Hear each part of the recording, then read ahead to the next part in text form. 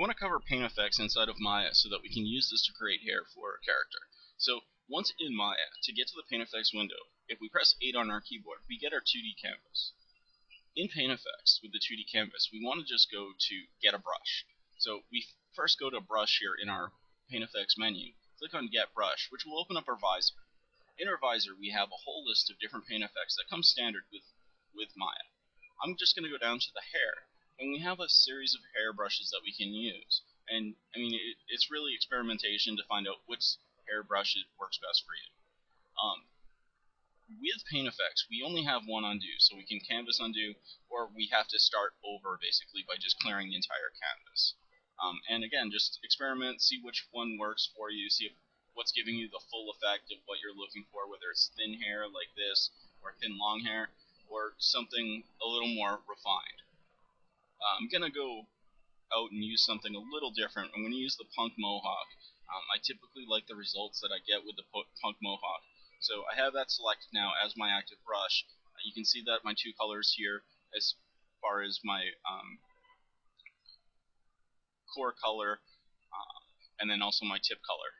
And what I can do is just start painting and watch the the hair get built up. And I'm just doing the same stroke over and over again to give a variation to how the hair is going to be.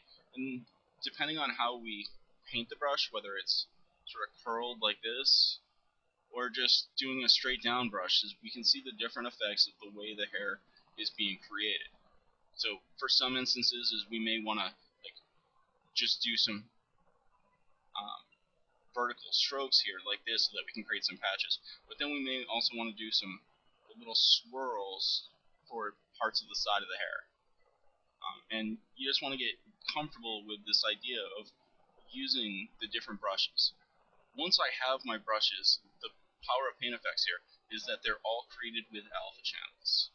So now it's just taking these and saving them off to uh, Photoshop or your editing program so that you can cut them up or save them off or make any adjustments because, I mean, uh, we may not want orange hair, but the hair that we create or the pattern we create has a lot of contrast so that we can make adjustments to it.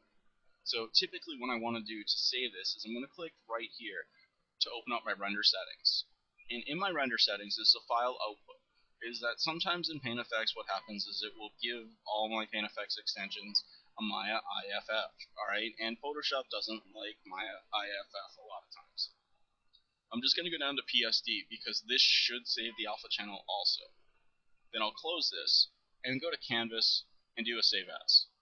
When I go to Save As, is I'm going to also make sure that my files of type is set to PSD and save this off to a location where I'll be able to find it. Now I can jump back over to Photoshop and open that file. And now I have my my image and I also have basically no background at all, which is acting as my alpha channel. So, like I mentioned, is when we, we create paint effects inside of Maya, is that we can change the color if we choose to inside of Photoshop or our editing program. How I'm going to do that is I'm going to hold down Control and click on the thumbnail for the background so that I make a selection. I'm going to go to my adjustment layers here. And inside my adjustment layers, I'm going to click on hue saturation. With hue saturation, I have the ability to desaturate it. And just with a slight desaturation, we can already see where the brown is. I'm then going to adjust the hue, and we're getting it more into that brown color. And then also adjust the darkness. So with just a simple one adjustment here is I've gone from bright orange hair, which was for the most part useless, to brown hair, which is a lot more flexible. So I can save these off, or save this off as a Targa or PSD, or I can edit this even more, making sure that the, the alpha channel is set, and then take this over to my 3D program so that I can create planes to texture my character.